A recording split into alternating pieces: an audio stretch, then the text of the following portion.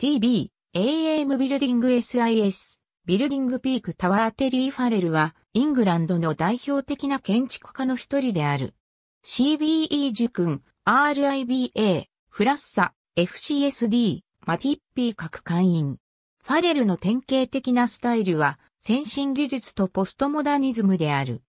ファレルの建築物は、しばしばポストモダニズムであることを決定づけるジョークを含む TB、AM ビルでは天井に色が塗られたエッグカップを配したが、これは朝の情報番組に使われるビルというだけでなく、古典主義建築のビルの上に骨壺を置くという役割も合わせ持っている。ファレルはチェシャーのセールで生まれた。セントカスバート高校に通うためにニューカッスルアポンタインに移った。ニューカッスル大学の建築学部を主席で卒業し、1965年から活動を開始した。ありがとうございます。